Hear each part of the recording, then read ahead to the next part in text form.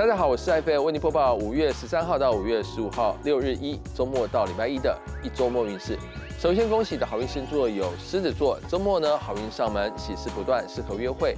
金牛座的朋友呢，周末家人团聚哦，那么闲话家常，享受美食。母羊座的朋友呢，周末最好就是拥抱大自然，享受阳光。两名星座周末特别小心，方双鱼座的朋友今天心急如焚呢，行程会受到耽误哦。那么巨蟹座的朋友呢，周末感觉到身体比较疲倦哦，晚晚上呢失眠现象加剧哦。那么各星座周末的幸运数字颜色推荐给你，火象星座请你用红色数字八，土象星座请你用棕色数字三。风象星座，请你用银色数字四；水象星座，请你用蓝色数字七。